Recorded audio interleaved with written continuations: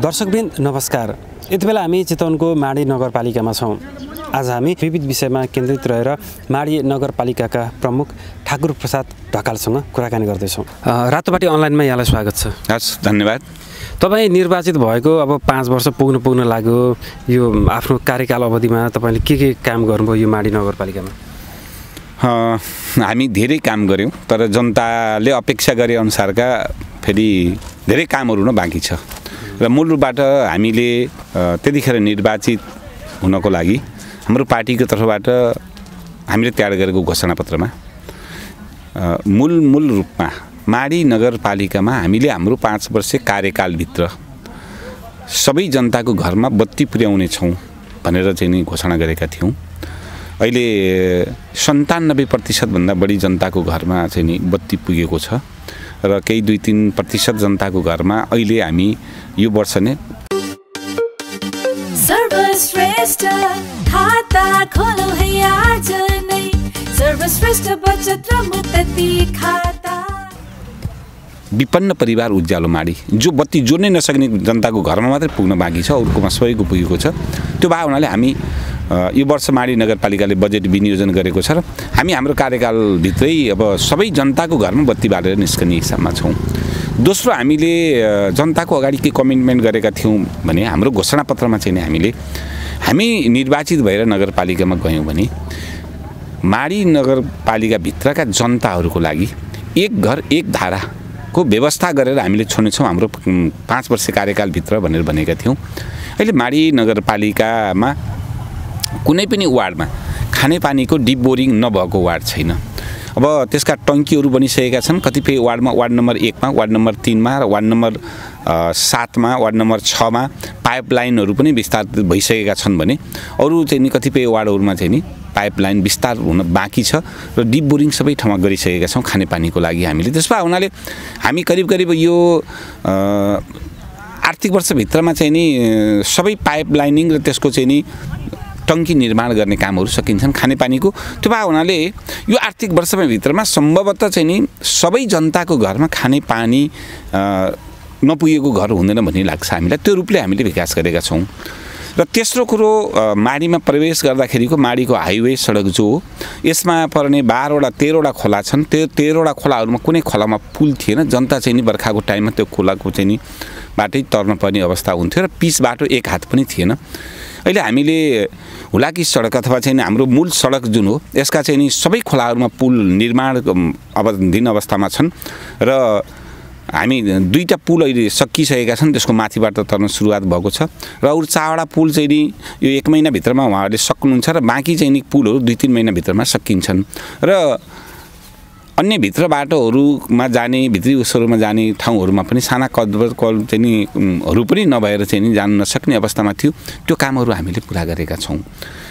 र माडीमा हामी निर्वाचित भएर आउँदाखेरि माडीका जनताहरू खोलाको बिचबाट आफू कसरी बच्ने यहाँको जग्गा छोडेर अलिअलि पैसा भयो भने पारीतिर भरतपुरतिर गएर घडेरी किनेर गएर बस्ने अवस्थामा भएको माडी हो।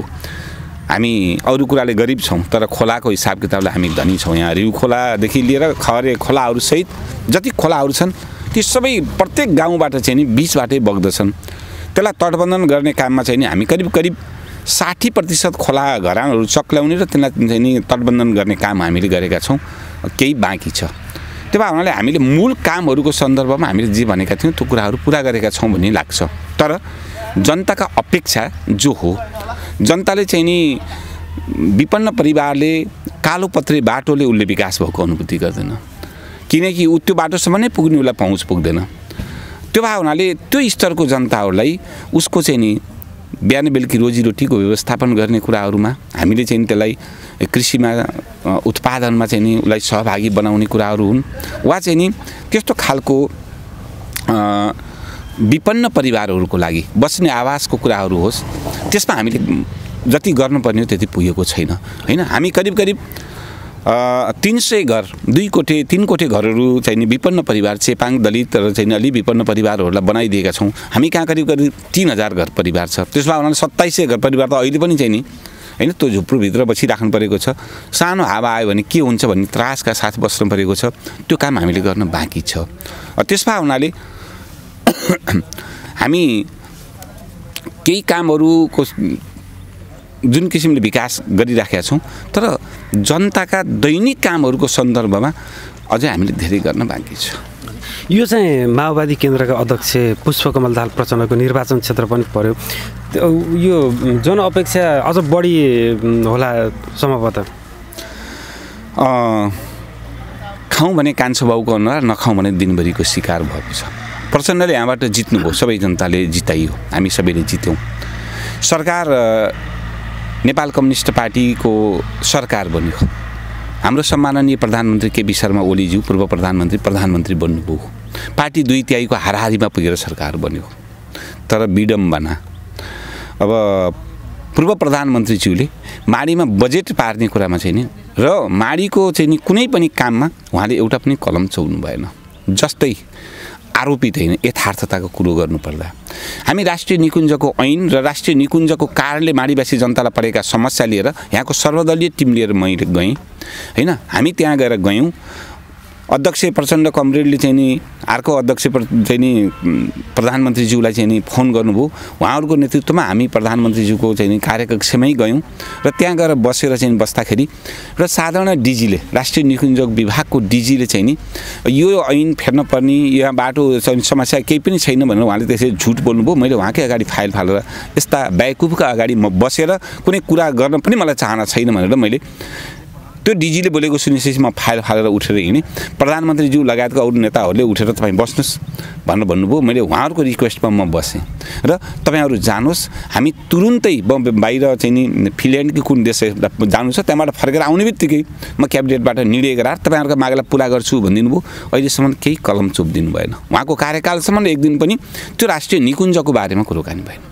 फेरि दोस्रो पटक राष्ट्रिय निकुञ्जको जुन चाहिँ नि वन्यजन्तुको कारणले चाहिँ नि यहाँ परेका समस्याहरू सहितको अनि त्यहाँ आगजनी जो राष्ट्रिय निकुञ्जको कर्मचारीहरूबाट भयो त्यसको बारेमा हामी गयौँ। जो कर्मचारीले बदमासी गरे हो सरकारको बदनामी गराउन खोज्यो त्यो कर्मचारीलाई कारवाही गर्नुपर्छ भनेर हामी यहाँबाट गयौँ। गइसकेपछि त्यो पनि केही भएन। त्यो चेपाङहरू अहिले पनि पालमा छ। सर्वोच्च अदालतमा चाहिँ नि गएर कसैले यसरी आग लागि भयो यिनीहरूलाई चाहिँ नि यस्तो भयो भनेर उजुरी हाल्यो। अर्को निर्णय नभएसम्म काम अगाडि नबढाउनु भनेर भन्यो न सरकारले कुनै चाहिँ नि हेरेको छ। अहिलेसम्म पनि त्यो तिन वर्ष बित्यो हामीले पाइनौँ। हामीले चाहिँ नि प्रधानमन्त्रीज्यू हुनुभयो नेपालमा चाहिँ नि एउटा राम चाहिँ नि जन्मभूमि भएको र माडी चाहिँ नि अयोध्या भूमि भयो भनेर उहाँले फोन गर्नुभयो। हामी बुरुबुरु नाच्दै गयौँ। एकदम खुसी हुँदै गयौँ। नगरपालिकाले एक सय बिघा जग्गा त्यो क्षेत्र बनाउनको लागि भनेर निर्णय पनि गर्यो। तर उहाँले मुखले मात्रै बोलिदिनु भयो। माडी नेपालको राम जन्मेको ठाउँ हो र अयोध्या धाम हो भनेर त्यो नेपाल सरकारको कुनै पनि माइनेटमा कुनै पनि आधिकारिक ठाउँमा चाहिँ नि भइदिएन। त्यो जग्गाको पनि अहिले आधिकारिक निर्णय अहिलेसम्म भएको छैन।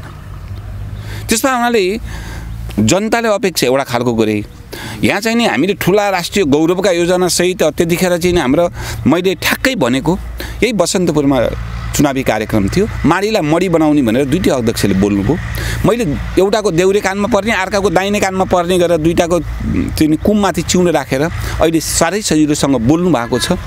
भोलि यो व्यवहारमा उतार्नको लागि त्यही खालको प्रतिबद्धता सधैँ सम्झिदिनु होला है भनेर मैले भनेको थिएँ। तर यहाँबाट फर्केर गएपछि त्यो खालको कुरो सरकारको तर्फबाट भएन। अब तल जनताले चाहिँ नि होइन पार्टीको चाहिँ नि मुख्य मान्छे लिडरले चाहिँ यहाँबाट जितिराखेको छ त्यही पार्टीको सरकार छ। यहाँ धेरै हुनुपर्छ भनेर धेरै जनताले अपेक्षा गर्यो तर केही पनि पाउन सकेन। त्यो मैले बुझ्दाखेरिको अवस्थामा प्रचण्डको निर्वाचन क्षेत्रमा पैसा खर्च गरेर त्यहाँको विकास गर्नु भनेको प्रचण्डले जस लिन्छ भन्ने नै हाम्रो चाहिँ पूर्व प्रधानमन्त्रीज्यूको चाहिँ नि दिमागमा परिदियो कि र हामी चाहिँ नि अन्यायमा पऱ्यौँ कि भन्ने चाहिँ नि मैले महसुस गरेको छु। अब अहिले त्यो भइसकेपछि त्यो भइसकेपछि अहिले अब अहिले के भयो त्यसो भए? भनेर भन्नु होला। बजेट त अहिले वर्ष लिएर आएको थियो। अस्ति भर्खरै गएर हामीले गरेका छौँ। करिब बिस करोडको करिब बिस करोडको हामीले चाहिँ नि नदी तटबन्धनको लागि भनेर भनेको थियौँ। हिजो चाहिँ नि ठ्याक्कै तपाईँको खोलाहरूको नाम दिनुहोस् भनेर अर्थ मन्त्रालयबाट के भन्छन् अरे ऊर्जा मन्त्रालयबाट जल तथा चाहिँ नि जलस्रोत तथा ऊर्जा मन्त्रालयबाट चाहिँ नि त्यहाँको सचिवले कुरोकानी गर्नुभएको थियो डिजीले कुरोकानी भएको छ। मलाई जहाँसम्म लाग्छ हामी त्यो यो माडीका चाहिँ नि सबै खोलाहरू तटबन्धन गर्नको लागि बिस बाइस करोडको चाहिँ नि कार्यक्रम बजेट अहिले बिचबाटै भए पनि लिएर चाहिँ अध्यक्षकै पहलबाट आउँदैछ भन्ने लाग्छ मलाई। हामी बाटो पिच गर्नको लागि भन्दा पच्चिस करोडको उ गरेर गरेको थियौँ उहाँहरू चाहिँ नि तपाईँहरू तयारी गर्नुहोस् हामी पैसा पठाइदिन्छौँ भनेर भन्नुभएको छ। अहिले आशा छ। आएन भनेदेखि त ओहो गर्नुभयो भनेर भन्ने खालको कुरो भएन। आशा छ हो। के काङ्ग्रेसको सरकार आएपछि चाहिँ अब यहाँ अलिक के विकास योजनाहरू केन्द्रबाट चाहिँ अहिले काङ्ग्रेसको सरकार त छैन। अहिलेको गठबन्धन। सरकार। अहिले गठबन्धनको सरकार। अहिलेको गठबन्धनको सरकार आएपछि जस्तै राष्ट्रिय निकुञ्जभित्रको बाटोको बारेमा हामी गएका छौँ। अब राष्ट्रिय निकुञ्जको डिजी पनि नि पोजिटिभ हुनुहुन्छ। अर्थ मन्त्रालय पनि पोजिटिभ छ प्रधानमन्त्री पनि पोजिटिभ हुनुहुन्छ उहाँहरू सबै पोजिटिभ हुन्छ। जङ्गलभित्रको बाटो धुलोरहित बाटो बनाउनको लागि हामी प्रायः नेपालमा अहिलेसम्म त्यो प्रविधिको चाहिँ नि बाटो बनेको छैन। मैले त्यसलाई धेरै अनुसन्धान गरेर पत्ता लगाइसकेपछि अमेरिकामा एउटा झोल बन्दो रहेछ। त्यो ल्याएर प्रयोग गर्दाखेरि हुँदो रहेछ भनेर त्यो युट्युबबाट खोजेर पत्ता लगाइसकेपछि अहिले त्यो चाहिँ नि कम्पनीले इन्डियाको हैदराबादमा चाहिँ नि पचास किलोमिटर त्यसले काम गर्दै रहेछ। डिजी चाहिँ राष्ट्रिय निकुञ्ज विभागको डिजी र म हामी दुवैजना प्राविधिकहरूसहित लिएर गएर हेरौँ र अनि पछाडि काम सुरुवात गरौँ भन्ने खालको भएको छ। बजेटको चाहिँ नि बाह्र करोड त्यसको जङ्गलको लागि अहिले पहिला असारको बजेटमा थिएन अहिले आएको छ। त्यस कारणले गर्दा अहिलेको गठबन्धनको सरकार बनिसकेपछिको स्थितिमा माडीको चाहिँ नि अब यहाँको विकासको लागि केही हामीले आश्वासन पाएका छौँ र आशावादी अलि बढी छौँ। काम चाहिँ नि हुन्छ भन्ने खालको कुरो। किनकि बजेट भर्खरै सिद्धिएको छ अनि हामीले चाहिँ यसलाई अगाडि बढाइराखेका छौँ। जस्तो यहाँले अघि भन्नुभयो कि जस्तो पूर्व प्रधानमन्त्री केपी शर्मा ओलीले नेतृत्व गर्दाखेरि चाहिँ खासै हेरिएन माडीलाई प्रचण्डको निर्वाचन क्षेत्र भएकै कारण पनि उपेक्षामा पारियो भन्नुभयो। तर उहाँले चाहिँ अब राम भारतको अयोध्यामा जन्मेको नभएर यही नेपालकै यहीँ यो माडीमै यो अयोध्यापुरीमै जन्मेको भनेर उहाँले राम सीताको मूर्ति हनुमानको मूर्ति पनि स्थापना गर्नुभयो। अब यहाँ चाहिँ पर्यटकहरूको चाहिँ ठुलो आकर्षणको यो केन्द्र बन्यो अब पर्यटन प्रवर्धनले गर्दा पनि यो क्षेत्र चाहिँ अ, विकासको गतिमा अघि बढ्छ भनेर चाहिँ उहाँले एउटा त्यो काम पनि त गर्नु भएको छ नि। त्यसलाई कसरी बुझ्ने? हामीले पोजिटिभली बुझेका छौँ। माडी नगरपालिकाको हामी जनप्रतिनिधिहरू यहाँका राजनीतिक दलहरू हामी पोजिटिभली बुझेका छौँ। र यहाँ केही हुन्छ भने हामीले चाहिँ नि एक सय बिघा जग्गा पनि छुट्याएका छौँ। अरू सङ्घ संस्थाहरूसँग रिक्वेस्ट पनि गरेका छौँ। तर तर बाबु तँलाई मैले दुध र भात खुवाउँछु छोरो अहिले मकै नखा भनेर छोरालाई भोकै राख्नुभन्दा मकै खान दिँदा राम्रो हुन्छ। कुरो बुझ्नुभयो नि? तँलाई म दुध र भात खुवाउँछु। त्यसको बारेमा त्यसको अनुसन्धान गरेर र अयोध्यामा राम यहीँ जन्मिया हो भन्ने खालको पुष्ट्याइ सहितको सरकारले निर्णय गरेर गरिदिएको भए त गर्नुभयो भन्ने हुन्थ्यो नि त हामीलाई। हो? त्यो त गर्नु भएन।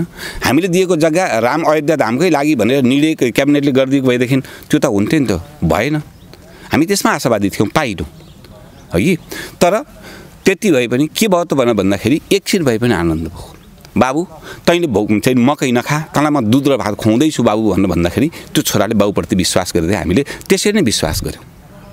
र अहिले टुरिज्मकै कुरोकानी गर्नुपर्दा अहिले चाहिँ नि बजेट त चाहिँ नि हाम्रो पूर्व प्रधानमन्त्रीज्यूहरूले ल्याउनु भएको थियो नि। सङ्घीय सरकारबाट त्यत्रो घोषणा गरेका ठाउँमा त्यहाँ कम्तीमा एउटा मन्दिर बनाउनको लागि अथवा एउटा धर्मशाला बनाउनको लागि दुई करोड मात्रै विनियोजित गरिदियो भए पनि त हामीलाई अलिअलि चित्त त बुझ्थ्यो जिरो छ। चाहिँ नि सङ्घीय सरकारबाट बजेट उहाँले लिएर आएको बजेटमा यहाँ रामधाम भन्नुभयो पुरै अब चाहिँ नि यो टुरिज्म बन्द छ यहाँ त झक्कामक्क हुन्छ भनेर भन्नुभयो एक रुपियाँ दाम हालिदिनु भएको छैन। त्यसो भए हुनाले भात चाहिँ खालास भन्ने भयो। भोट चाहिँ भुटिया मकै पनि खोसिएर अन्त गए भात पनि खानु पाइएन त्यही स्थिति बनाएको छ भनेपछि उहाँले किन चाहिँ यो घोषणा चाहिँ किन गर्नुभयो? यसको केही कुनै के राजनीतिक कारण? उहाँको आन्तरिक कुरोलाई मैले कसरी चाहिँ गरौँ? तर मलाई लागेको चिज के छ भन्नु होला भने यसलाई दुईवटा कारण छ।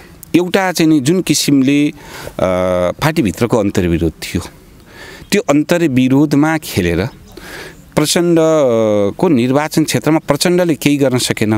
अब नयाँ किसिमले चाहिँ नि केपी शर्मा ओलीले पत्ता लगाउनु भयो भनेर राजनीतिक चाहिँ नि अन्तर्विरोधलाई खेल्नको लागि उहाँले घोषणा गर्नुभयो एउटा। दोस्रो उहाँले के गर्नुभयो त भन्दाखेरि भारतसँगको चाहिँ नि अब हामीले पनि गर्न खोजेका छौँ भन्ने किसिमले चाहिँ नि भारतसँग देखाएर त्यहाँभित्र केही चाहिँ नि एउटा दोस्रो चिज हुनसक्छ। तेस्रो के भयो भने नेपालमा हिन्दू धर्मावलम्बीहरू जो छन् नि यिनीहरूको चाहिँ नि मत बटुलेर अर्को पटक प्रशस्त भोट ल्याएर जित्न सक्दछु त्यसमा हुनाले रामलाई नै जन्माउने त केपी भन्दा अर्को कुन छ यहाँ भनेर भन्ने हिसाब किताबले राजनीतिक चाहिँ नि एउटा माहौल सिर्जना गर्न सक्दछु भन्ने कारणले उहाँले त्यो इच्छाले मात्रै गर्नुभयो। टोटल माडीको विकास माडीका जनता र समग्र माडीवासी जनताहरूको हितको लागि मैले केही गर्नुपर्छ भनिदिएको भएदेखि त हामीलाई राष्ट्रिय निकुञ्जबाट चौबिस घन्टा एक दुईजना साथीहरूले अन्तर्वार्ता दिनुहुन्छ। त्यतिखेर माओवादी केही चाहिँ थियो नि वनमन्त्री। किन गरेन? भनेर भन्नुहुन्छ कि? अनि यहाँ मलाई गाली गर्नुहुन्छ। हाम्रो पार्टी यहाँ चाहिँ भन्ने भने एमालेको चौधजना हुन्छ माओवादीको चारजना हो जम्मा नगरपालिकामा। तिनजना वडा अध्यक्षले जित्नु भयो अनि यहाँ गाली गर्ने बेलामा चाहिँ नि मेयरले चाहिँ नि गरेन भनेर भन्नुहुन्छ। चौधजना उहाँहरू त मसित हात बाँध्या बाँधै गरेर लड्या लडै गर्नुहुन्छ त। केही पनि एकजना अगाडि बढाउन लागि त उहाँ लड्या लडाइ गर्दाखेरि मेयरलाई मात्रै गाली गरे हुने। उहाँ चाहिँ नि एउटा वनमन्त्रीलाई गाली गरेर प्रधानमन्त्रीज्यूले त गरिदिन खोज्नु भएको थियो। त शक्ति बस्नेतले गरेको भनेर चाहिँ नि चित्त बुझाउनु। त्यो खालको छ। तर यो कम्तीमा हामीले गरेर चौबिस घन्टा बाटो खोल्ने चाहिँ नि हिँड्ने चाहिँ व्यवस्था भइदियो भने पनि जनताले एउटा खालको अनुभूति गर्न सक्दछ।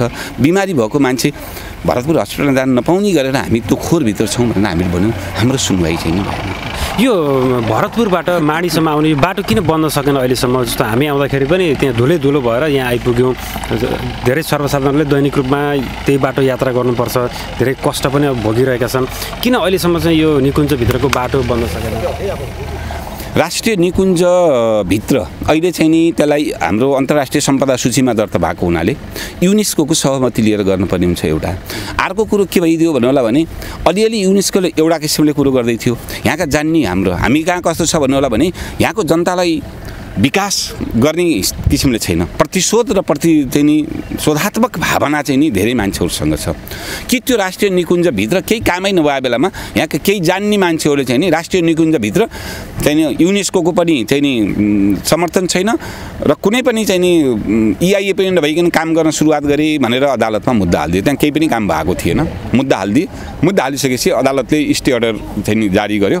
र त्यस पछाडिबाट यहाँभित्र चाहिँ नि कुनै बाटो निर्माण गर्नको लागि युनेस्को समर्थन नलिकन नगर भने युनेस्कोले समर्थन दियो हिजोदेखिबाट अहिलेसम्मको मूल समस्या त्यो त्यसमा हुनाले अब त्यसलाई अहिले हामीले चाहिँ नि युनेस्कोसँग पनि सहमति लिने किसिमले राष्ट्रिय निकुञ्ज विभागसँग पनि सहमति लिने अब चाहिँ अहिले सुरुवात गरेको छ मैले अघि नै तपाईँलाई भनिहालेँ बाह्र करोड रुपियाँ छुट्टिएको छ।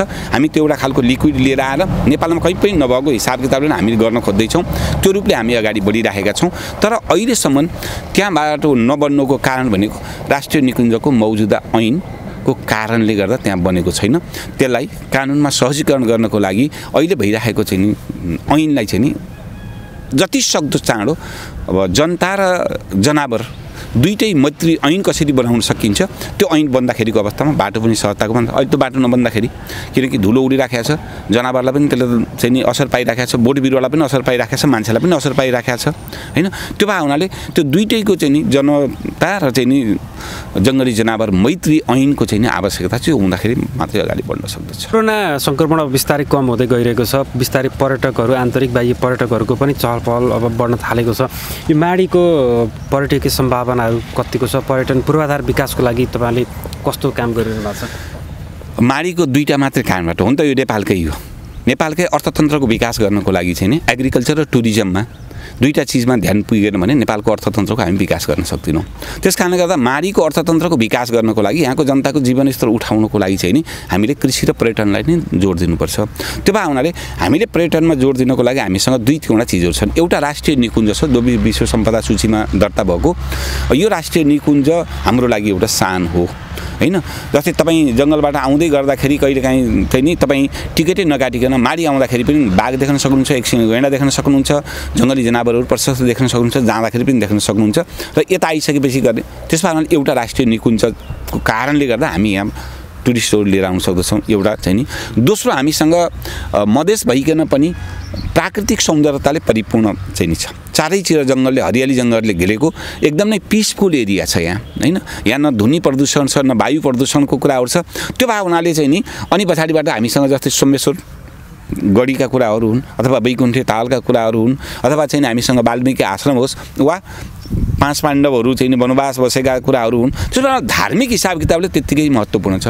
र तेस्रो कुरो हामी कहाँ यहाँ चाहिँ नि एग्रिकल्चरको हिसाब किताबले मत्स्य पालन होइन? ठुला ठुला फर्महरू अहिले हामीले बनाइराखेका छौँ। त्यसमा एग्रिकल्चरको सन्दर्भमा रिसर्च गर्नको लागि पनि बाहिर विदेशहरूबाट आएर यहाँ आएर चाहिँ त्यसको रिसर्च गर्न सक्ने गरी हामीले विकास गरेका छौँ। त्यस कारणले गर्दाखेरि टुरिज्मलाई विकास गर्नको लागि हामीले विभिन्न सेक्टरहरूमा अहिले ठुल्ठुला रिसोर्टहरू बन्नको लागि हामीले चाहिँ नगरपालिकाको तर्फबाट उहाँहरूलाई अनुदानमा लोन दिने उहाँहरूले चाहिँ नि अब केही समयसम्म चाहिँ नि लाग्ने करहरू चाहिँ नि छुट गर्ने यो गरेर चाहिँ नि टुरिज्मको विकास गर्नको लागि हामीले त्यसका पूर्वाधारहरू तयार गर्दैछौँ। हजुर। अब तपाईँहरूको कार्यकाल पनि अब सकिन सकिन लागेको छ। अब फेरि अब स्थानीय तहको चुनाव आउनेवाला छ। अबको चुनावको तयारी पनि त थालिसक्नु भयो होला यहाँहरूले। यो राजनीतिक अङ्कगणित हिसाब किताब हुन थाल्यो कि छ? अब अहिले स्वाभाविक रूपमा हामी विगतमा चाहिँ नि तिनवटा वार्ड र माओवादी केन्द्रले मेयर चाहिँ नि जितेका थियौँ। र मैले चाहिँ नि अहङ्कारी कुरा गर्न नगरौँ भन्ने लाग्छ। हाम्रा नेताहरू बोल्दाखेरि पनि। हाम्रो चाहिँ नि पूर्व प्रधानमन्त्री केपी शर्मा ओली बोल्नुभयो भने अब चाहिँ नि पुरै हामीले बहुमत ल्याएर भेट चाहिँ नि चाहिँ नि गर्छौँ। तिमीहरू कसैको साथ चाहिन्न? अहिले कसैका बुई बोकेर केपी शर्मा ओली कहिले बुई नचढिकन सरकारमा पुग्नुभयो? र भोलि पनि पुग्ने छाँट छ। शेरबहादुर देउबाजी चाहिँ नि कहिले चाहिँ नि अरूको बुई नचढिकन चाहिँ नि पुग्नुभयो प्रधानमन्त्री हुन? हाम्रो अध्यक्ष कमरेड प्रचण्ड पनि कहिले अरूको बुई नचढिकन एकल प्रधानमन्त्री हुन पुग्नुभयो त्यसमा हुनाले हामी हाम्रो बिचमा गठबन्धन सरकार नबनिकन नेपालमा हामीले करिब करिब त्यसको अन्त्य गर्न खोजेका थियौँ। तर दुर्भाग्य हामीको घमण्डले गर्दाखेरि फेरि हामी पछाडिएका छौँ। त्यसमा हुनाले अब फेरि पनि सरकार बन्ने भने त त्यो सबै दलहरूको होइन गठबन्धन सरकार नै बनियो। त्यस कारणले गर्दा जम्मै हामी जित्छौँ भनेर मैले माडीको सन्दर्भमा भनेर तर माडीको माहौल जुन किसिमले बनिराखेको छ नेपाल कम्युनिस्ट पार्टी माओवादी केन्द्रले अब अहिले उपाध्यक्ष के अरे उप मेयर र उपमेयरसहित पहिला जितेको वार्डहरूभन्दा दुईवटा तिनवटा वार्डसम्म थप्न सक्ने सम्भावना छ। हामीले त्यही रूपले सङ्गठन विस्तार गरेका छौँ जनताको बिचमा पुगेका छौँ। जनता दुईवटा कुराले नजिक आउन खोज्दो रहेछ। एउटा जनता विकास चाहन्छ अर्को जनताले चाहिँ नि विश्वास चाहन्छ। त्यसमा हुनाले नेपाल कम्युनिस्ट पार्टी माओवादी केन्द्रले जुन एजेन्डाहरू उठा त्यही एजेन्डाको आधारमा आज मुलुक चढ्या छ। प्रधानमन्त्री केपी शर्मा ओली हुनुभयो होला प्रधानमन्त्री शेरबहादुर देउबाजी हुनुभयो होला प्रधानमन्त्री चाहिँ नि अब मधेसी दलको कुनै नेता हुनु हुनु हुनु होला तर एजेन्डा चाहिँ नि माओवादीले उठाएको एजेन्डाकै आधारमा। आज एउटा गाउँमा कोदालो खनिराखेको दलितको छोरी माननीय बनाएको चाहिँ नि माओवादीको एजेन्डाले अरू कसैको एजेन्डाले होइन। होइन? आज एउटा चाहिँ पान बेचिराखेको मधेसीको छोरीलाई चाहिँ नि माननीय बनाएको मन्त्री बनाएको सरकार बनाएको माओवादीको एजेन्डाले हो त्यस कारणले गर्दा हाम्रा एजेन्डाहरू जुन छन् त्यो चाहिँ नि जनतासित जोडिएका एजेन्डा भावनाले त्यो एजेन्डा अनुसार हामीले अहिले तपाईँसँग मैले ढिलो हुँदाखेरि पनि हामीले समाजवादी यात्रा भनेर भनेका छौँ कहाँ हो? हामीले मैले भन्नुपर्दा माडी नगरपालिकाले त्यो यात्रा सुरु गरेका छौँ तपाईँलाई अर्कोपल्ट गरौँला किनकि हामी गरिबको छोराछोरीलाई पढ्नको लागि उसको चाहिँ नि शिक्षा उसको पहुँचमा पुर्याउने गरेर। बिना धितो बिना चाहिँ नि ब्याज त्यो पढ्ने विद्यार्थीलाई एमबिबिएस पढ्ने विद्यार्थी रहेछ एउटा गरिबको छोराछोरी रहेछ केही नभएको छोराछोरी रहेछ तपाईँहरू अहिले पनि जान चाहनुहुन्छ भने बारम्बार नाम मन लाग्छ। एउटै घरमा चारवटा छोरा छन् दुईवटा छोरा एमबिबिएस पढ्दैछन् एउटाले इन्जिनियरिङ पढ्दैछ कान्छो चाहिने छोरो फेरि ती तिनटै दाजुभाइभन्दा बेस्ट छ। उसलाई अहिले उसको आमा बिहान आएर मसँग रुँदै हुनुहुन्थ्यो। हामी चाहिँ नि उहाँहरूलाई शैक्षिक लोन दिए लोन दिएर उहाँहरूलाई एमबिबिएस पढाउँदैछौँ त्यसमा हुनाले हामीले चाहिँ त्यो वर्गको चाहिँ नि त्यो समुदायको चाहिँ पहुँचमा शिक्षा पुर्याउनको लागि नगरपालिकाले सुरुवाती गरेका छौँ। होइन? त्यस कारणले गर्दाखेरि पनि हाम्रो सङ्गठन विस्तार भएको छ। हामीले चाहिँ नि केही नभएका मान्छेहरूलाई चाहिँ नि स्वास्थ्य बिमा गरिदिएका छौँ। हिजो हस्पिटल देख्नै नपाउने मान्छेले अहिले एक लाख रुपियाँसम्मको उपचार गर्न पाउँछ नगरपालिकाले गरिदिएको छ। त्यो नीति कसले निर्माण गर्यो? माओवादी पार्टी र त्यो पार्टीले पठाएको प्रतिनिधि त्यसलाई कार्यान्वयन गर्यौँ हामीले। त्यस कारणले गर्दाखेरि के भयो भन्दा जनताले चाहिँ नि माओवादी पार्टीले आफ्ना एजेन्डाहरू जो हुन् त्यो एजेन्डा अनुसार अगाडि बढेको छ र त्यस पछाडिबाट चाहिँ नि जनताको बिचमा आएको छ भनेर हेरेका छन्। त्यस कारणले गर्दा जनताले विकास पनि पाएका छन् अहिले र जनताले विचार पनि पाएका छन्। त्यो भए हुनाले माडीमा नेपाल कम्युनिस्ट पार्टी माओवादी केन्द्रको साङ्गठनिक विस्तार छ र हामी आशावादी छौँ। मूल्याङ्कन गर्ने जनता हुन्। हामीले पाँचवटा सिट दसवटा सिट सबै जित्छौँ भनेर भन्ने खालको कुरो होइन। जनताले निष्पक्ष भएर मूल्याङ्कन गर्दाखेरि माओवादी पार्टीलाई जिताउँछन् भन्ने कुरामा म विश्वास छु। पूर्व प्रधानमन्त्री केपी शर्मा ओलीले यहाँ चाहिँ अयोध्यापुरी घोषणा गरेर अयोध्यापुरीमा यो राम हनुमानको मूर्ति स्थापना गरेपछि पनि जनमत उतातिर धेरै गएको छ। भन्ने खालको पनि विश्लेषण हुने गरेको छ। अहिले माडीमा बरु एमालेतिरका साथीहरू हामीसँग आउनु भएको छ। नेपालमा चाहिँ नि कम्युनिस्ट पार्टी माओवादी केन्द्रको कतै उतातिर गएको छैन। चितवनको चाहिँ नि तिन नम्बर निर्वाचन क्षेत्रकै कुरो गर्नुहुन्छ भने हाम्रो पार्टीको एकजना पनि उतातिर गएको छैन। र यसले उहाँहरूले यहाँ चाहिँ नि राख्दाखेरि हामीलाई फाइदा छ। किनकि प्रचण्ड यहाँ निर्वाचित भएपछि अन्तर्राष्ट्रिय रङ्गशाला होस् अथवा चाहिँ नि स्मार्ट सिटीको हिसाब किताबले भरतपुर होस् वा माडीको चाहिँ नि अहिलेसम्म भइरहेको राष्ट्रिय निकुञ्जभित्रको बाटो सहितको चाहिँ नि माडीका पुल र बाटाहरू होस् त्यो प्रचण्डकै पहलमा भयो।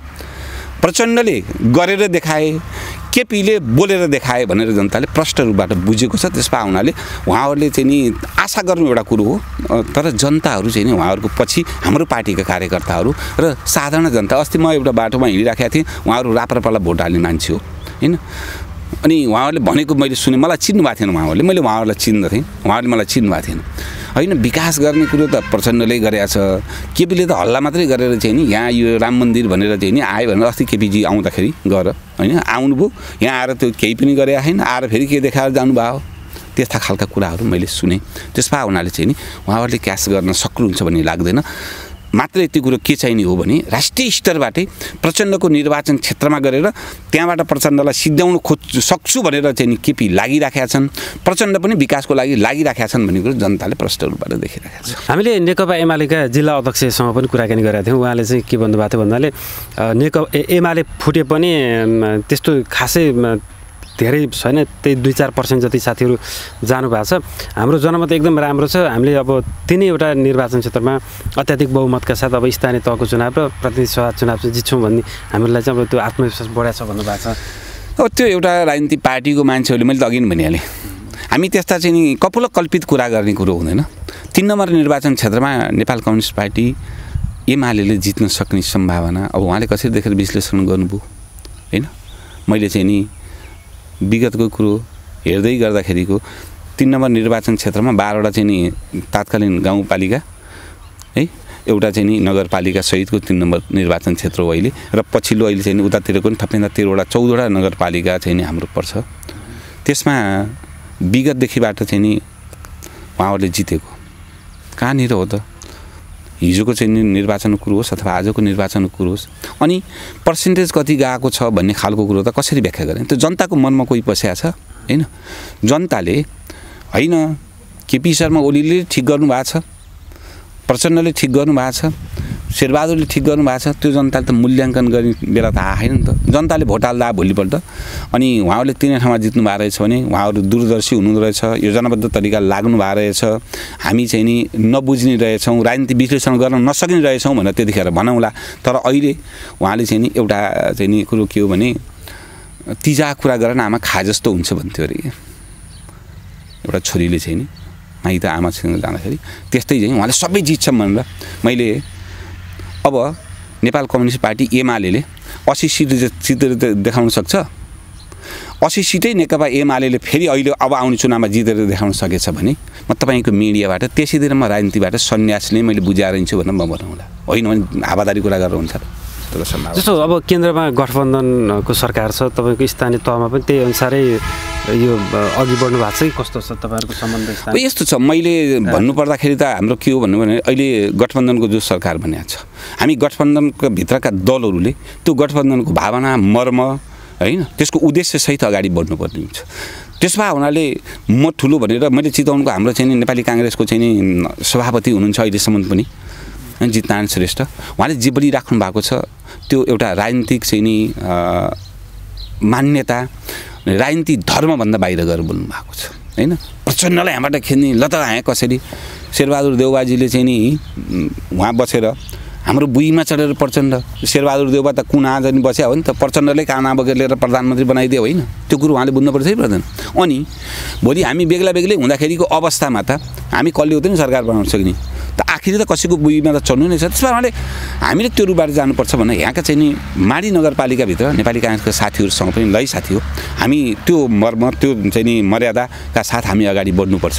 ठिक गरेका गठबन्धनलाई चाहिँ हामी टिकाउने हिसाब किताबले हामीले काम गर्नुपर्छ भनेर हामीले यहाँ भनि नै राखेका छौँ। साथीहरूसँग त्यो खालका कुराहरू पनि हामी गर्छौँ। त्यसरी नै अगाडि बढ्नुपर्छ। जस्तो केन्द्रमा काङ्ग्रेससँग चाहिँ अलिकति अब नजिकको सम्बन्ध भयो भने जिल्लामा किन अलि अ, यो गाढा सम्बन्ध हुन नसकेको तपाईँहरूको? हाम्रो कुनै व्यक्ति विशेषको कुराहरू होला तर काङ्ग्रेसको चाहिँ नि टोटल टिमसँगको हाम्रो त्यस्तो चाहिँ नि नराम्रो सम्बन्ध छैन। हाम्रो राम्रै सम्बन्ध छ होइन? हामी सहमतिमै हरेक कुराहरू गरिराखेका छौँ। काङ्ग्रेसको अहिले उहाँहरूको अन्तर्विरोधको कारणले गर्दा शेरबहादुरजीको विरोधी क्याम्पमा उहाँहरूको जुन छ त्यहाँ होइन? त्यसलाई मैले भन्नु चाहिँ पनि त्यति राम्रो नहोला। अब त्यो विचारभन्दा अलि बाहिर हुनेले कतिपय कुराहरू चाहिँ नि त्यस्ता खालको कुरा गरिराख्नु भएको छ। अस्तिसम्म त हाम्रो चाहिँ नि यो माथि संयन्त्र नबन्ने बेलासम्म त रामचन्द्र पौडेलज्यूले पनि त अलि बढी कोप्नुहुन्थ्यो त। अहिले फेरि त संयन्त्रको चाहिँ नि प्रमुख भइसकेपछि त उहाँले फेरि सम्मेलन सुरुवात गर्नुभएको छ नि। त्यस भए हुनाले उहाँहरूको बिचको अन्तर्विरोधको कारणले केही केही कुराहरू केही केही मान्छेहरूले बाहिर अभिव्यक्ति गर्ने कुराहरू एउटा कुरो होला। तर समग्रतामा काङ्ग्रेससँगको सम्बन्ध चाहिँ नि अरू तलका काङ्ग्रेसका भोटर्स जनताहरू काङ्ग्रेसका अरू नेताहरूसँगको सम्बन्ध माओवादीसँगको टाढा छैन। राम्रै छ। अन्तमा जस्तो अब स्थानीय तहको निर्वाचन केही समयपछि आउँछ। दलहरूबिच अब यसको लागि केही तयारीहरू अथवा अब चाहिँ चुनाव आउँछ है भन्ने खालको त्यस्तो केही माहौल सुरु हुन लाग्यो छैन? होइन त्यो त स्वाभाविक रूपबाट अब चाहिँ नि अहिले चुनावी तयारीको लागि लाग्ने कुरो स्वाभाविक हो र हामीले पनि जनतालाई हाम्रो पक्षमा लिएर आउनको लागि चुनावमा हामीले चाहिँ नि जित्नको लागि प्रयत्न गर्ने कुरा त त्यो स्वाभाविक रूपबाट सबै दलले गरिराखेका छ हामी पनि गरिराखेका छौँ। हस् यहाँको यो महत्त्वपूर्ण समयको लागि धेरै धन्यवाद। हस् धन्यवाद। तपाईँको यो रातो पार्टी डट कमलाई हाम्रो समग्र माडीको र हामी निर्वाचित भएर चाहिँ आइसकेपछि गरिएका विकासहरूको बारेमा भन्ने अवसर दिनुभएकोमा यहाँहरूलाई पनि धन्यवाद।